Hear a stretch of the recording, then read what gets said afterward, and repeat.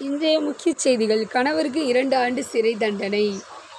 குடும்ப தகராறில் மனைவியை தாக்கிய கணவருக்கு இரண்டு ஆண்டு சிறை தண்டனை விதித்து கூடலூர் கோர்ட் தீர்ப்பளித்தது. கூடலூர் நகராட்சிக்கு உட்பட்ட நடுக்கூடலூர் பகுதியைச் சேர்ந்தவர் ஜெயராஜ். வயது ஐம்பத்தி ரெண்டு இவருடைய மனைவி மைமூனா. இதற்கிடையே கணவன் மனைவி இடையே குடும்ப தகராறு ஏற்பட்டு வந்தது.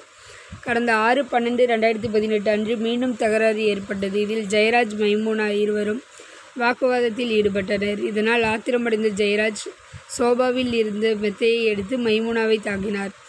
இதில் அவர் படுகாயம் அடைந்தார். இது குறித்து மைமுனா கூடலூர் போலீசார் புகார் அளித்தார். அதன் பேரில் போலீசார் வழக்கு பதிவு செய்து ஜெயராஜை கைது செய்தனர். இந்த வழக்கு விசாரணை கூடலூர் நீதிமன்றத்தில் நடைபெற்று வந்தது. இந்த நிலையில் நேற்று குடும்ப தகராறில் மனைவியை தாக்கிய ஜெயராஜுக்கு இரண்டு ஆண்டு சிறை தண்டனை விதித்து குற்றவியல் நடுவர் நீதிமன்ற நீதிபதி சசின்குமார் தீர்ப்பளித்தார்.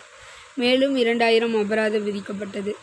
மேலும் இதே போல் வீடியோஸை நம்மளோட சேனலில் நீங்கள் பார்க்கணும்னு நினச்சிங்கன்னா மறக்காம நம்ம சேனலை சப்ஸ்கிரைப் பண்ணி கூட பெல் ஐக்கான் அழுத்தி அதில் போட்டுக்கோங்க.